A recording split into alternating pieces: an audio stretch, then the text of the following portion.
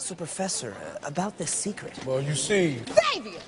Well, you want to explain why I found her hiding in your closet? but Pumpkin, I don't see nobody. Don't call me pumpkin. It ain't Halloween. Invisible Girl? Apparently not invisible enough. Well, if you knew how to take care of your man, maybe this wouldn't have happened. No, she didn't. Oh, this bitch is crazy. I'm gonna have to whip your ass. You don't say nothing disrespectful. I will. Oh, On every side. Oh, whoa. Got by your weave now, bitch. Get off my hair, you slut! No, not in the face! Now what? What you gonna do, invisible bitch? No, whatever. I'm out of here. I'm sure gonna miss her. She was crazy in the sack. Biting, scratching, panting, tongue all over the place. Wasn't me, jerk.